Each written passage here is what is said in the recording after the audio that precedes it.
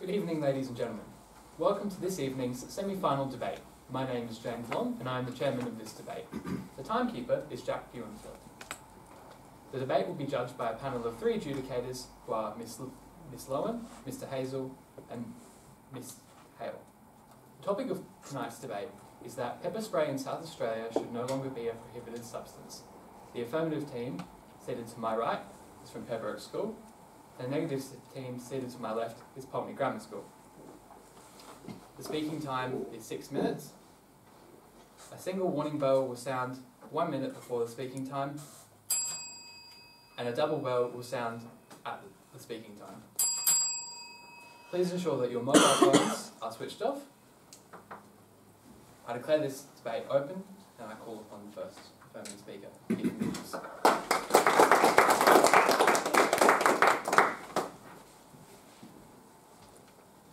Good evening, ladies and gentlemen. The topic for this evening is that pepper spray in South Australia should no longer be a prohibited substance. We, the affirmative team, strongly agree with this statement. We define the topic as that pepper spray, an aerosol spray containing ol- oleoresin capsicum oils used only in disarming and defensive weapon in the state of South Australia, should no longer be prohibited, forbidden, or a banned substance, and should be a common item available to the public. However, we as the affirmative team propose a model that pepper spray be legalised but only available for purchase with an ID by a person over the age of 18. We also propose that any purchaser or user of pepper spray have a licence. However, pepper spray can be used under the age of adulthood with permission from a legal guardian. As well as this, people with access to pepper spray have to have un- undergone a brief training on how to use it safely in order to receive their licence.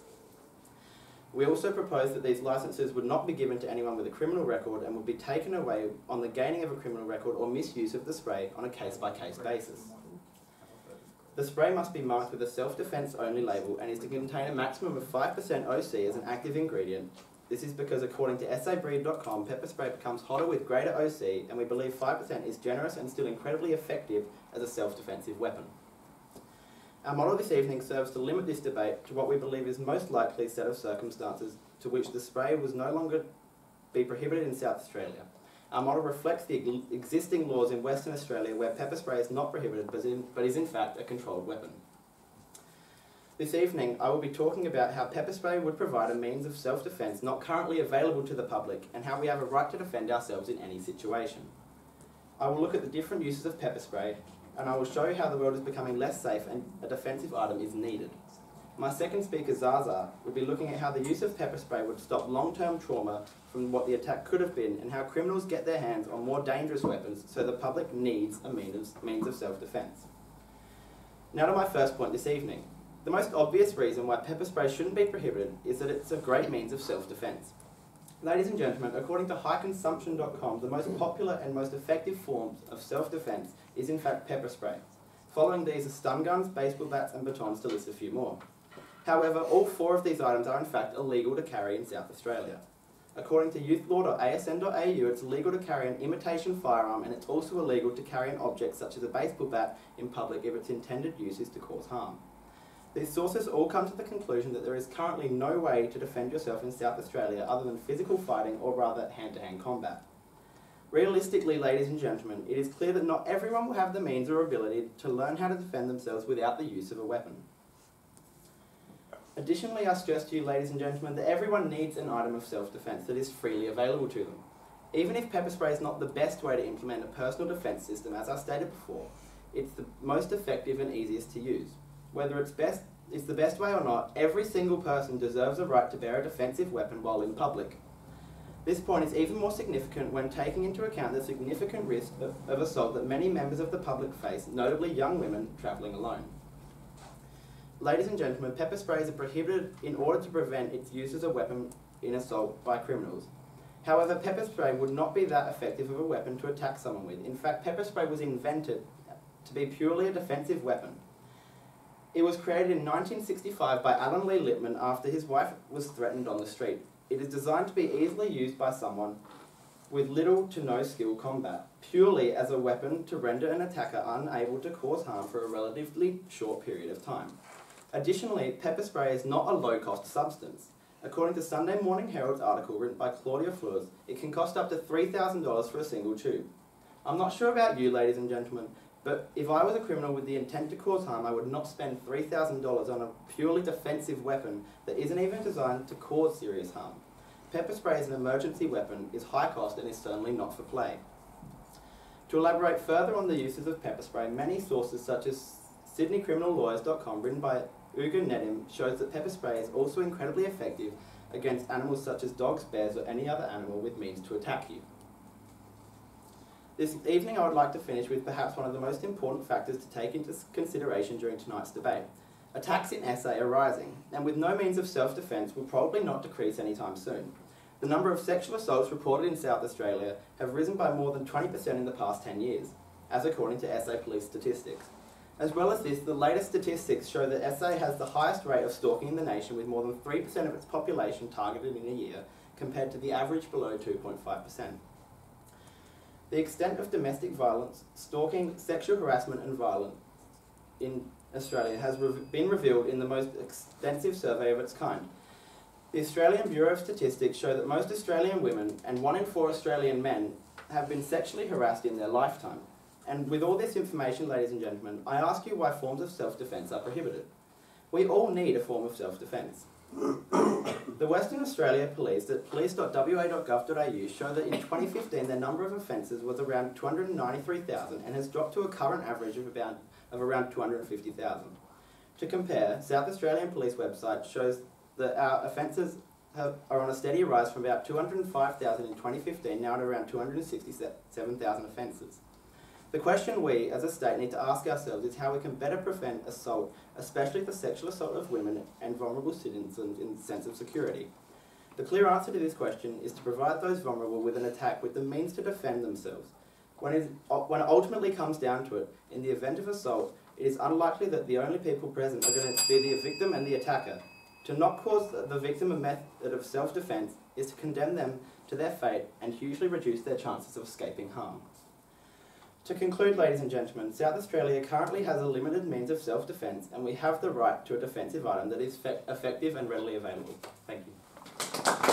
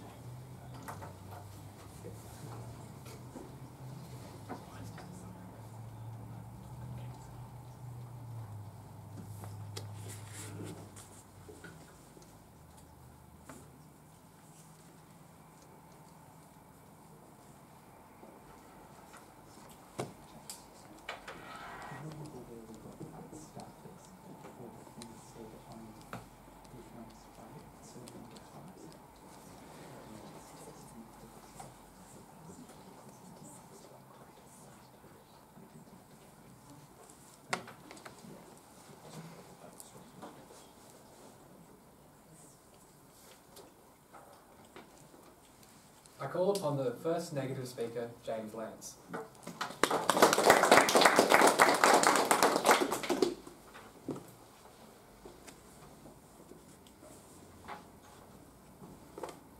Good evening, ladies and gentlemen. Mr Chairman. As you know, tonight's debate is on the notion that pepper spray in South Australia should no longer be a prohibited substance. As the negative team, we disagree with this statement, and believe that pepper spray should remain prohibited. Tonight, I, the first speaker, will be telling you about the dangers of pepper spray and the safety issues it can cause. Our second speaker will tell you about how unreliable pepper spray can be and present some far better alternatives. The third speaker will rebut the team, team opposite's points and summarise our case. Now, we agree with most of the model put forward by the opposing team, but we suggest that we use an existing US one which does not require any training to use um, pepper spray. We would also like to uh, highlight that a prohibited substance is a legally dangerous article, which means it is illegal to be carried unless you have an exemption by law. But before I begin my case, I'd like to point out a few flaws in the opposition's case. The opposition said that pepper spray is a good weapon of self-defense. This isn't true because people rarely carry pepper spray in their hands at all times. It will most often be in a bag or a pocket or a purse. And precious seconds would be wasted trying to get that pepper spray out from wherever it was being held while being attacked. It's, it's rare that people know when they're going to be assaulted. They also said that pepper spray cannot effectively be used as an offensive weapon. It can. I will, I will touch on this later, and criminals can use pepper spray to hurt a victim far easier than a victim can use to defend themselves. And now on to my first point. Simply put, pepper spray is dangerous. There is a reason it was prohibited in the first place. I'd like to point out to you the eerie similarities that this topic has to the wider debate around gun laws. The main reason that pepper spray is legal to carry in some areas, namely Western Australia, is as a means of self-defense. This is a reason often cited for why firearms should be legal to carry. But it's missing the point. In order to reduce attacks and general violence, the answer is not more weapons. That is simply counterproductive.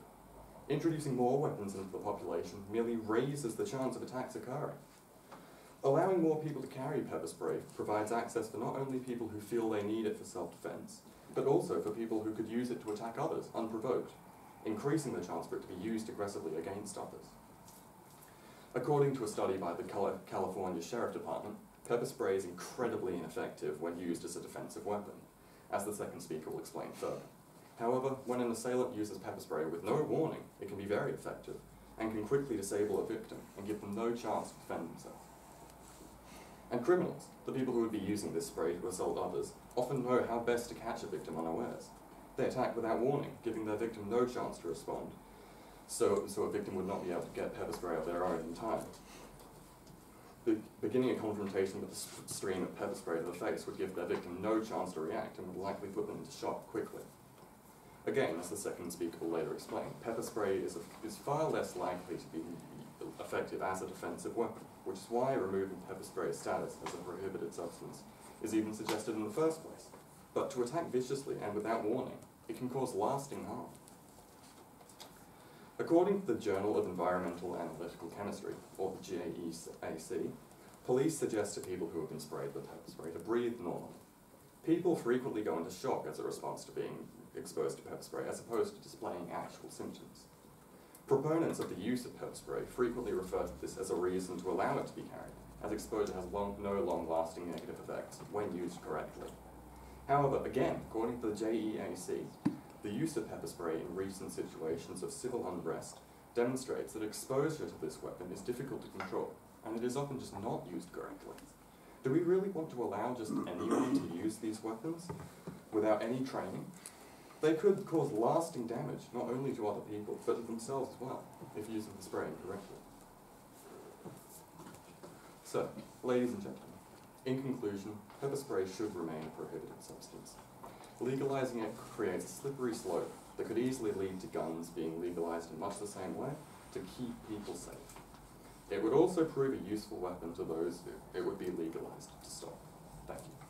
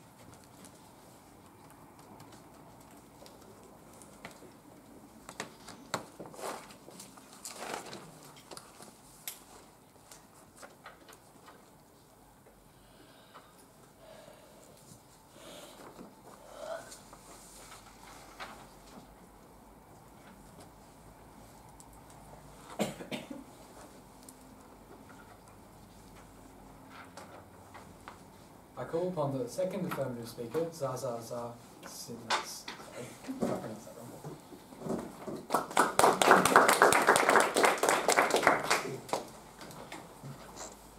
Good evening, Chairman, ladies and gentlemen.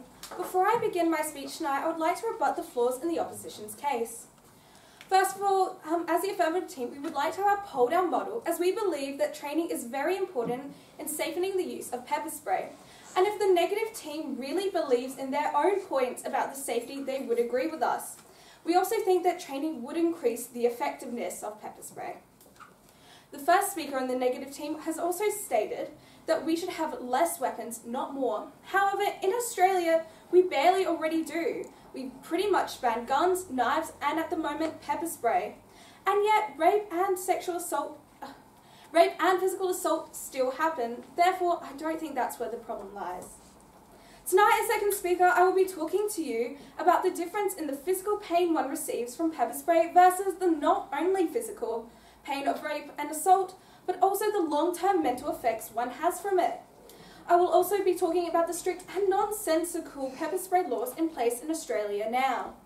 For my first point, I will be discussing, discussing the predominantly temporary effects of predominantly temporary pain of pepper spray versus the potentially serious long-term physical and mental effects of being assaulted. The effects of pepper spray, whilst it causes severe discomfort, are minimal compared to someone who has suffered sexual or physical assault. As stated by the School of Medicine and from the University Institute of Illinois Chicago, the most common physical effects someone will experience from pepper spray is a bubbling or boiling sensation followed by a temporary blindness and eye pain for around 30 to 45 minutes. It can also burn the throat, causing wheezing, dry coughing, and or the inability to speak or breathe for a limited time. In rare cases, it, it can cause a lack of blood flow and oxygen. Now, ladies and gentlemen, we're not saying that's not bad. And we do not think to trivialize the experience of pepper spray victims, but it can be easily treated and it can be a lot worse. When someone is assaulted or raped, for instance, they not only suffer physical consequences, but also severe long term trauma effects. Like with pepper spray, there are numerous short term physical effects that can come from an attack. According to HealthyPlace.com, the effects of for sexual assault are bruising and bleeding on the body, urinary infections, pregnancy, and STDs. And those of regular physical abuse can include cuts, bruises, broken bones, and other physical maladies. However, there are also numerous long term effects that can come from being assaulted which do not exist in relation to pepper spray. For someone who is raped, these long term effects are predominantly mental. This includes PTSD, depression, borderline personality disorder, sleeping, eating, and or dissociative identity disorders, and suicidal tendencies, among others. Long-term effects of physical assault can be arthritis, hypertension, heart disease, and chronic pain symptoms, as well as the psychological effects stated before. Ladies and gentlemen, whilst the pain one would encounter from pepper spray would no doubt be uncomfortable, it is temporary and short-lived. A sexual assault victim will not only endure short-term physical illnesses, I mean issues, but they would also have to endure long-term physical and mental ones. When comparing the two, I'm sure that you would all agree with me in saying that the after effects of rape and and assault are far worse than those of pepper spray, and that is why it should no longer be prohibited. Now to my next point, how the laws against pepper spray are unnecessarily strict and do not make sense for innocent people who are at the bottom of their bags, either for very strict emergencies or in some cases forgotten. A woman by the name of Claudia Fleurs wrote about how she was nearly convicted for carrying pepper spray and a Swiss Army knife in the bottom of her bag. She was attending a court case as a journalist and had been running late. She then arrived at the conveyor belt and was picked up for unknowingly carrying a 10 milligram pepper spray bottle and a Swiss Army knife from her trip to Western Australia. However, it was not the Swiss Army knife that would cause her the most trouble, but the pepper spray. She had initially purchased a spray for use against wild animals that she was scared to be facing in the mining belt of WA, and had decided to keep the small bottle as a woman in an unpredictable community. However, this honest mistake for simply wishing to defend herself nearly cost her 14 years in prison. Luckily for Fleurs, the magistrate was sensitive to her predicament and believed it to be a case of over-vigilant policing and left her free of charges. This, however, did not take away the months of waiting and stress that Fleurs wrote about, and the penalty of 14 years imprisonment is very real and very extreme, especially compared to the maximum penalty of two years that one would have to face for carrying a knife. Despite Miss Fleurs' reputable position and remorseful outlook, she still faced a sentence greater than the average rape sentence, as I will soon elaborate on. The laws against pepper spray are also problematic as someone who could use pepper spray to defend themselves against a rapist, and then the person committing the rape crime could easily get away while the victim suffers a trial for possession and use of pepper spray. According to the sentencing statistics for the Victorian Supreme and County Court, only 11% of rapists were convicted, and the average sentence they faced was five to seven years. For someone to commit the crime and to serve six years only if they're prosecuted seems unfair compared to prosecuting someone for having a small can of pepper spray to defend themselves. There's, this simply supports my point that having pepper spray as a prohibited substance in South Australia is far too harsh, especially compared to the punishments for crimes of a much more grievous nature. To conclude, Chairman, ladies and gentlemen, pepper spray should no longer be a prohibited substance in South Australia. It is certainly the better option compared to the dangers of assault and rape, and the consequences one would have to face if they were carrying pepper spray now, no matter the reason or if they were even going to be used, are far too extreme for this defensive tool. Thank you.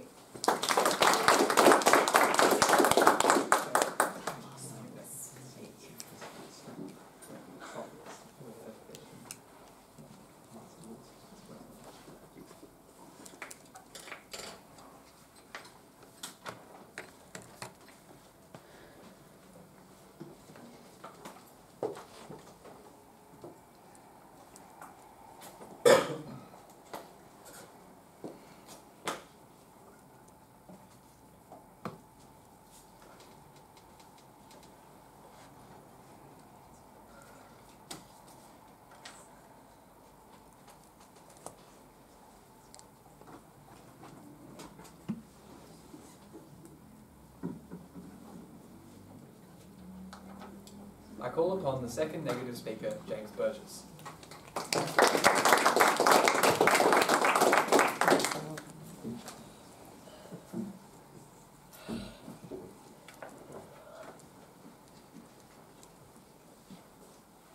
Good evening, ladies and gentlemen, Mr. Chairman.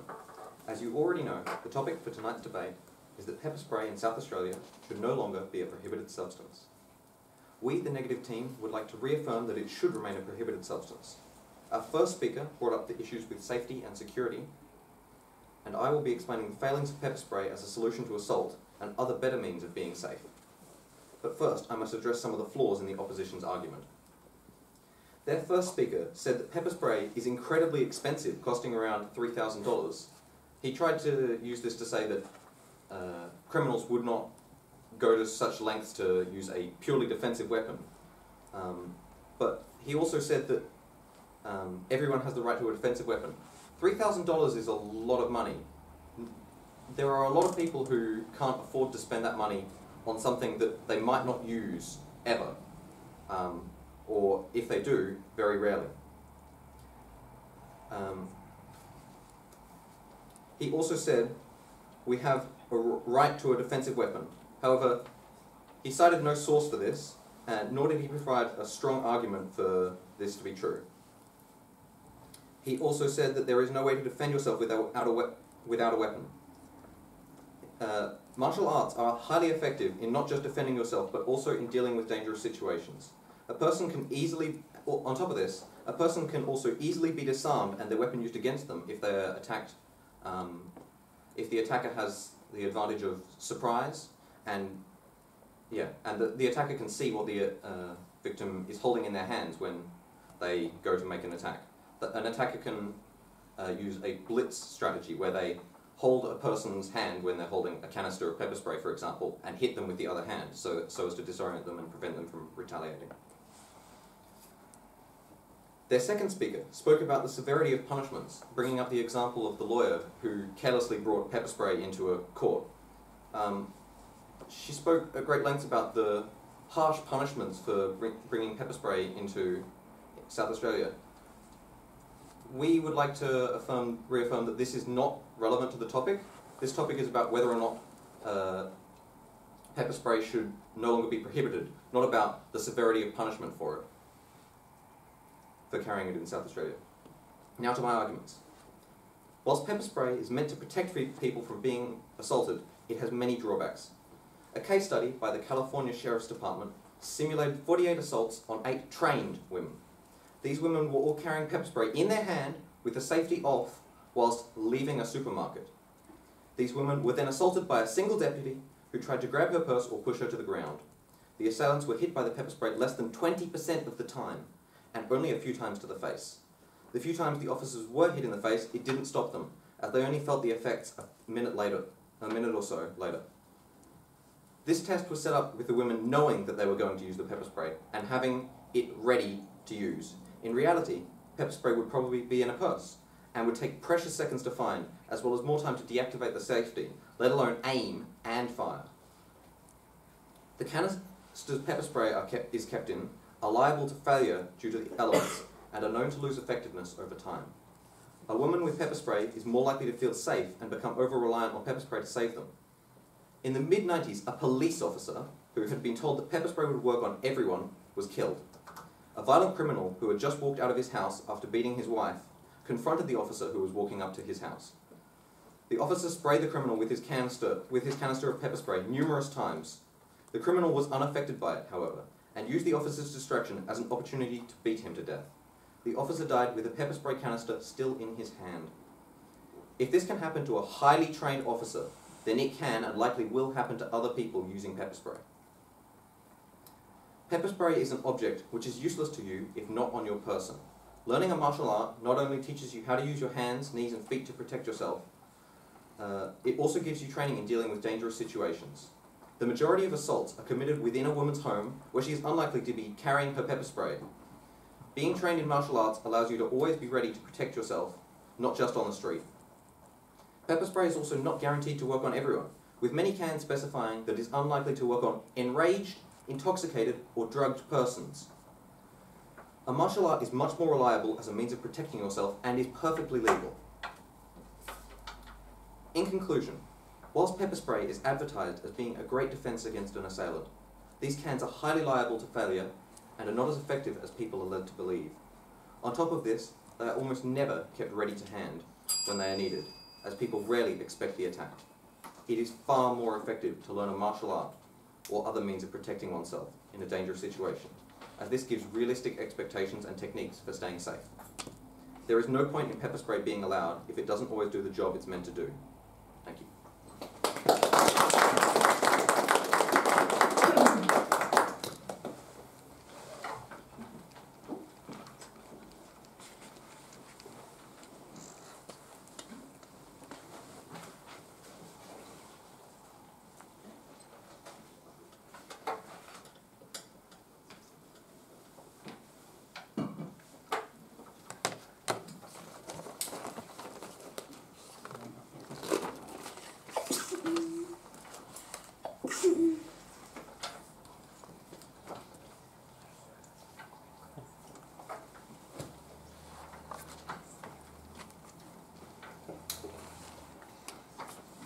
I call upon the third affirmative speaker, Kate Crowley.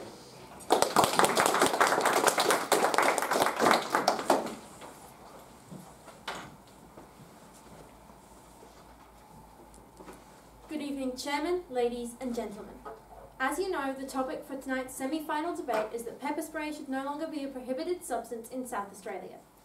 Before I summarise the strong arguments already made by my team, I'd like to address and rebut the key points raised by the negative team. The opposition seems to be making many of their arguments around the ineffectiveness of pepper spray. There's no doubt that there can be issues with using pepper spray without appropriate training, and for that reason, we suggested that training in its use and other self defense strategies be required prior to purchase. This would have the added benefit of teaching potential victims the benefits of situational awareness and other means that might enable them to ward off an attacker. OC is generally very effective if used appropriately, as it has both lacrimatory and inflammatory effects. When deployed correctly, it causes the attacker's eyes and nose to run and also causes swelling of the eyes, resulting in temporary blindness or visual impairment. It's this feature of pepper spray that may give a victim a few seconds to escape an attack. It's not 100% effective against all individuals, but given the long term harm of being assaulted, as my second speaker elaborated on, we believe it's nonetheless worth making it available to vulnerable groups. The opposition, specifically the first speaker, cited various data to support their argument that pepper spray can cause permanent harm. According to an article published by the US Department of Justice in March 1994, the FBI's Firearms Training Unit conducted extensive research prior to the introduction of OC based sprays for its special agents. This included testing by chemists in the FBI and information provided by the US Army Chemical Research and Development Center. FBI chemists did not foresee any long term health risks associated with the use of OC. Likewise, police agencies responding to a questionnaire from the FTU didn't report any medical problems with OC based sprays, although an occupational health consultant questioned by the FBI did note, it, did note the theoretical risk of using OC on persons with pre existing respiratory conditions such as asthma. Subsequent research into 63 deaths which involved the use of OC by law enforcement in the US failed to find direct causal links between the use of OC and death, except in two cases where the suspect also suffered from asthma. Both of these cases also involved the subject being restrained. Accordingly, it's quite possible that death resulted from a combination of OC, asthma, and positional asphyxia. The conclusion of the most comprehensive study for the US Department of Justice in 2004 stated that there's no evidence that OC, as used by law enforcement officers in confrontational situations, is a total or contributing cause of death, except when pre existing asthma is present. Our opposition, once again primarily their first speaker, suggested that criminals might seek to acquire pepper spray for use in crime if it's made available. Research published by the Australian Institute of Criminology in 2008 cites data from New South Wales and international jurisdictions, including the UK, which make it clear that handguns are the weapon of choice for criminals. Despite strict restrictions on firearm ownership after Port Arthur, levels, levels of illegal hand handgun ownership are high. According to data from the Australian Institute of Criminology, around 5% of detainees held by police in watch houses admit to having owned a legal handgun in the previous 12 months. Criminals are perfectly capable of acquiring handguns and other lethal weapons on the black market. Whilst they may also choose to acquire pepper spray, we believe this does not pose a significant additional risk to public safety. After all, a robbery using pepper spray has far less potential to turn deadly than a similar robbery with a gun or a knife. Their first speaker argued that the solution to assault is not more weapons. Their second speaker also went on to offer an alternative as martial arts. It's true that some proponents of legalizing pepper spray have called for other non fatal means of self defense to be legalized. However, tonight's debate is not about those weapons, nor is it about martial arts. All we're arguing is for a relaxation for the absolute ban on pepper spray. Saying that allowing pepper spray is necessarily opening the doors to other weapons is misleading at best. There's numerous jurisdictions where pepper spray is legal and other non-lethal methods of self-defense such as tasers are still outlawed. According to research on legalbeagle.com, even in the USA, land of the Second Amendment, tasers are illegal in seven states where pepper spray is legal. Allowing pepper spray does not necessarily open the doors to other weapons and vice versa. Their second speaker stated that one might never use pepper spray and that it's too expensive. However, I remind you that our first speaker also said that the spray is an emergency weapon. No one goes around telling people not to put a defibrillator in their building just because it's expensive. Their second speaker also went on to argue that martial arts is a good alternative.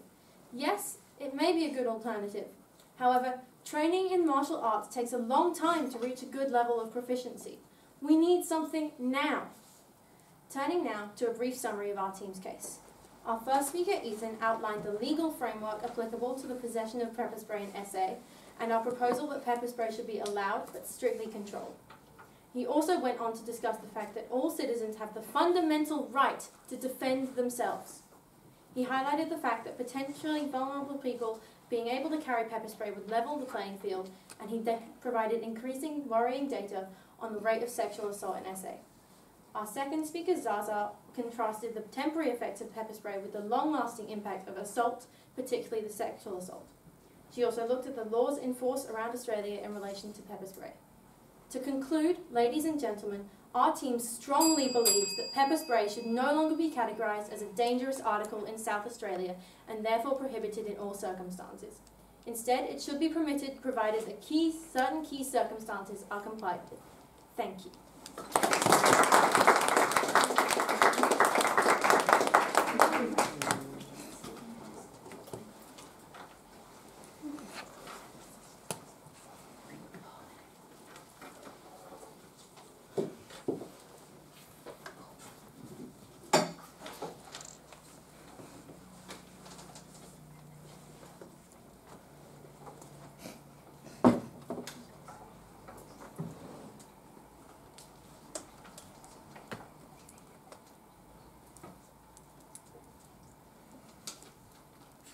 I call upon the third negative speaker, Will Roke.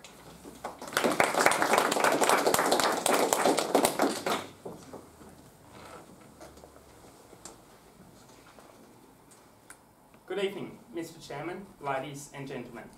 As you've heard, tonight's debate has discussed the topic that pepper spray should no longer, in South Australia, should no longer be a prohibited substance. We, the negative team, strongly disagree with this statement for the well-founded reasons that pepper spray was originally prohibited. Um, pepper spray is not the practical option for self-defence the opposition would have you believe. Rather, it is a weapon which is only effective in the hands of violent perpetrators, oh, sorry, in the hands of a trained individual who is prepared for the specific situation, such as a violent perpetrator. These factors make pepper spray a justifiably prohibited substance, and it should remain so. Before I go on to summarise our team case, I'd firstly like to highlight some of the flaws and issues that we find in the opposition's case. Um, the first of which, which our first speaker has already mentioned, is our concern with the model that the opposition has proposed. Um, while much of this we see as satisfactory for this debate, they stated that uh, training should be a prerequisite for acquiring a licence. Um, and the second speaker went on to support this by saying that training would be ideal and it'd be a good option. Um, while we agree that training would be ideal, it's not realistic in a licensing system. Um, it's simply not practical for many, many reasons. And many of the systems around the world for licensing are easily cheated, such as in America with their gun laws. Um, it's unrealistic to model this debate around a licensing system which would be perfect and have all individuals trained in pepper spray use. As such, we see a much more reasonable model being similar to the US licensing system, where applicants simply apply for their licence and provide um, reasonable docu documentation. Um, to go on to the first speaker's points, um, they stated that um, pepper spray is ideal for self-defence, um, and for that reason it should be unprohibited. However, um, they stated that, um, sorry, However, pepper spray, as our previous speakers have already shown, can be highly ineffective. It doesn't always work. Police officers have died relying on pepper spray. Why should we legalise this as a false sense of security for vulnerable people who could simply believe they can, they can be safe now and do whatever they like, when in actual fact this um, spray poses more of a risk to them? Um, further, they stated that um, they actually admitted that pepper spray is not the most effective solution to self-defence. Um, and we 100% agree that pepper spray is not the most effective um, solution. In fact, it's far from the most effective solution. Um, it's $3,000, as the first speaker stated. Um, this makes it inaccessible to most people. Um, much more accessible forms of self-defence could include whistles or safety buttons or as our second speaker has already stated, learning self-defence. Um, while this price that the first speaker stated proves, like, makes it inaccessible to um, those who could be victims and would use it, um, this doesn't necessarily form a barrier to perhaps armed robbers, trained criminals who would want to acquire this substance to impose, um, to be a perpetrator and commit these crimes of armed robbery, assault, murder, and so on. Um, further, he, the opposition's second speaker stated that we have a right to self-defence um, and the right to carry a self-defence weapon.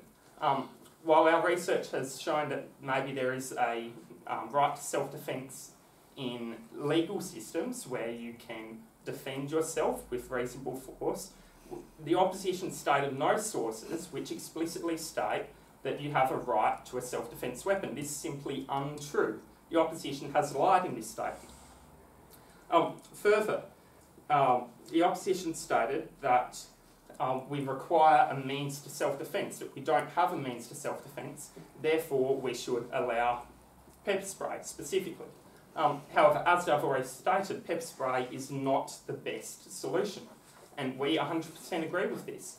We should allow means of self-defence which are more effective, make forms um, of self-defence such as martial arts more accessible, make um, safety whistles more accessible, and so on.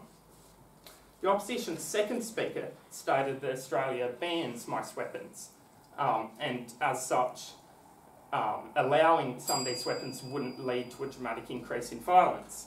Um, however, we'd like to compare this to America with much more lax um, bans on weapons, such as guns and pepper spray. They have an 88% higher um, incidence of violent crime, including armed robbery and assault, according to Nation Master. To summarise our team case, our first speaker spoke about the dangers to the public if pepper spray were to be legalised in South Australia. His first point outlined the similarities between this case and the gun laws in America. A right to self defence is not a right to weaponry, which can be very dangerous. Um, he then spoke about the necessity for training in order to keep this weapon non lethal. He discussed the practicality of pepper spray, impractical for self defence, but when prepared, highly effective in assault. Our second speaker went on to elaborate on this point of practicality. Pepper spray simply isn't a reliable means of self defence, and this false sense of, of um, security can and has led to deaths, as was the tragic case with the police officer who was trained in use with this pepper spray. To conclude, pepper spray is quite literally a dangerous article. None of us disagree with that. It should remain that way as a dangerous article under Australian law and remain prohibited in South Australia. Thank you.